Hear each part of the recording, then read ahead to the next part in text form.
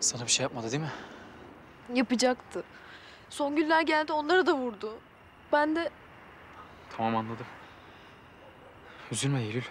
Sen kendini savundun sonuçta. Pislik herif. Senin hiçbir suçun yok. yardım edecek misin? Yapmazsan anlarım. Tabii ki edeceğim.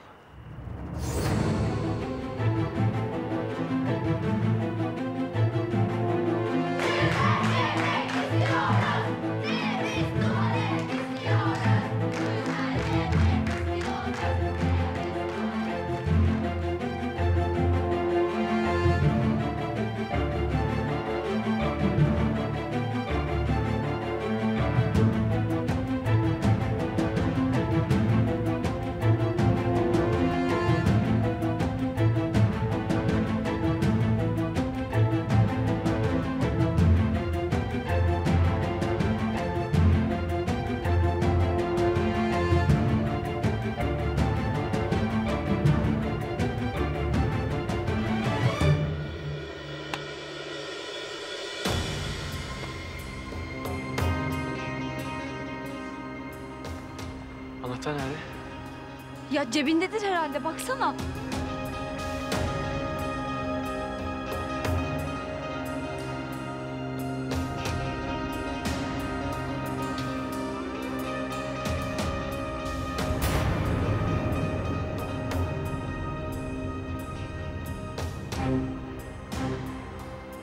Cemre?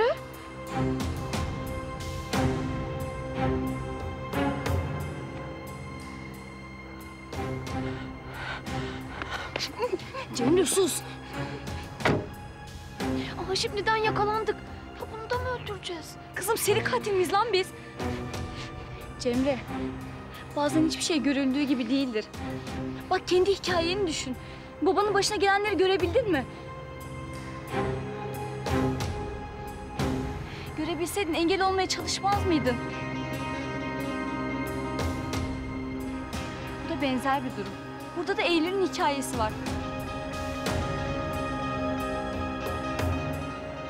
Bak o bagajda gördüğün adam daha küçükken Eylül'e göz koymuş bir sapık. Ya yurda geldi Cemre. Kıza tecavüz etmeye kalkıştı. Ben kendi gözlerimle gördüm. Kader de gördü. Ya Eylül de zaten kendini korumak isterken yanlışlıkla oldu.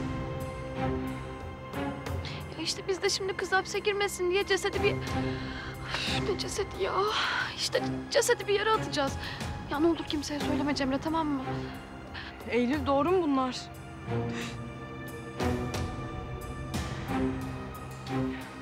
Merak etme ben kimseye söylemem.